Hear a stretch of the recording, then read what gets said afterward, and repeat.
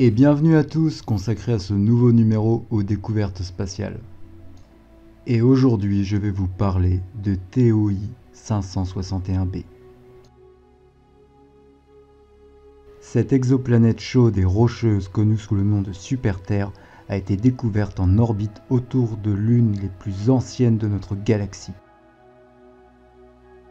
Et elle se trouverait seulement à 280 années-lumière. Je dis seulement parce que dans l'espace, croyez-moi, c'est peu. L'exoplanète, appelée ainsi parce qu'elle est située à l'extérieur de notre système solaire, est environ 50% plus grande que la Terre et trois fois plus massif, ce qui en fait une super Terre selon les normes astronomiques.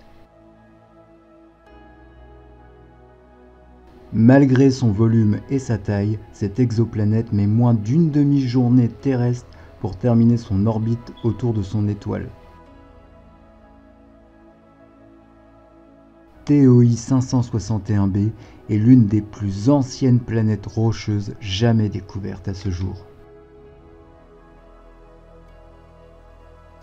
Et pour la petite anecdote, notre galaxie, la Voie lactée, s'est probablement formée il y a 12 milliards d'années.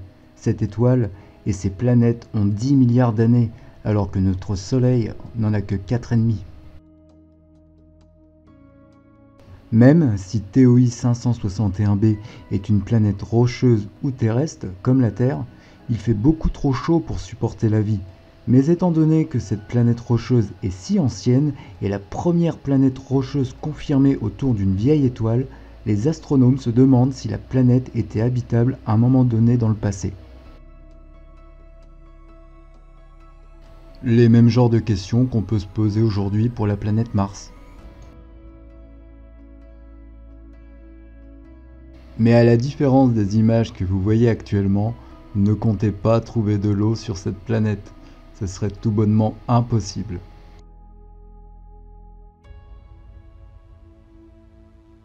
Et quand je vous disais qu'il faisait chaud, qu'il faisait très très chaud sur cette planète, il fait approximativement 1700 degrés à sa surface.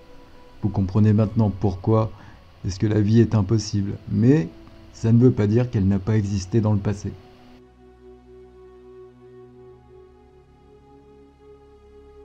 On doit la découverte de cette super Terre par la mission TESS lancée par la NASA en 2018. Bon, pour faire brièvement, c'est une chasse aux exoplanètes. Voilà. En tout cas, j'espère que ce nouveau numéro vous a plu. J'espère qu'également vous avez encore appris quelque chose. Si c'est le cas, n'hésitez pas à me le dire en commentaire. Et comme d'habitude, je vous laisse avec ces quelques dernières images et je vous dis à la prochaine. Allez, salut